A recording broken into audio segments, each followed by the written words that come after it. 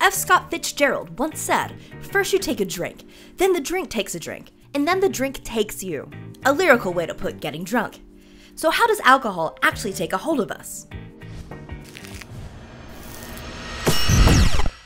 No matter what your poison is, booze all contains the same molecule that messes with your mind ethanol. And that's where the party gets started, or rather slows down. Actually, both. It's complicated. Ethanol slows your brain down by binding to two kinds of receptors, those for GABA and NMDA. GABA inhibits your behavior, so when ethanol binds to the GABA receptor, the neural message firing slows down, making you feel more calm, relaxed, and loosening you up. Ethanol blocks NMDA receptors, which makes you feel tired and can interfere with your memory. The more ethanol you have, the less you'll remember, and this is what can cause blackouts. At the same ish time, ethanol causes your brain to release the stimulants norepinephrine, adrenaline, and cortisol, which hype you up.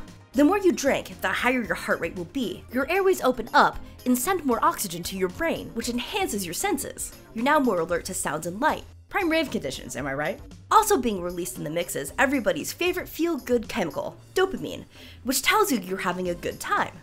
Now, onto why alcohol might lead you to make some bad decisions. The arrival of ethanol also gums up pathways that keep your brain from getting the energy it needs to operate at full speed. This impairs your thought processes that might lead you to think you're an awesome dancer and make you cut a rug at your office holiday party.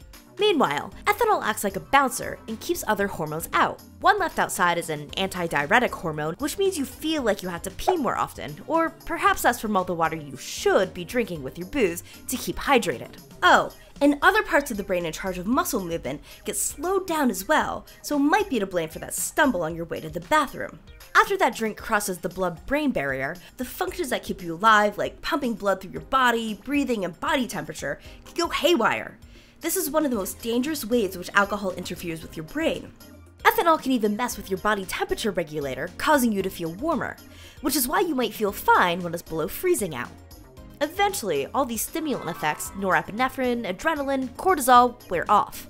But remember that GABA and NMDA we talked about? Their effects have been building up this whole time, meaning you're left weary and forgetful and just generally slower.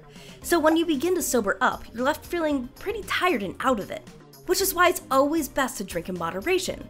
Alcohol has a unique effect on each of us, so it's a good idea to know your limits. Having a full stomach before drinking will slow down the ethanol absorption through the stomach walls. With an empty stomach, it can take less than a minute for the ethanol to zip through the bloodstream and reach your brain. Fatty foods take longer to digest, which slows down the alcohol absorption. Same thing for sugary mixers like soda or cranberry juice, which is why you'll feel ethanol's effects quicker when you have a mixer of diet soda. So now you know how alcohol can affect you after you toast off this long year. Speaking of which, we'd like to ring in the new year with a special tradition our annual audience survey. We want to hear what you think about the show. What do you love? What do you want more of? What can be improved? Let us know everything. The link for the survey is in the description below. Happy New Year and thanks for watching.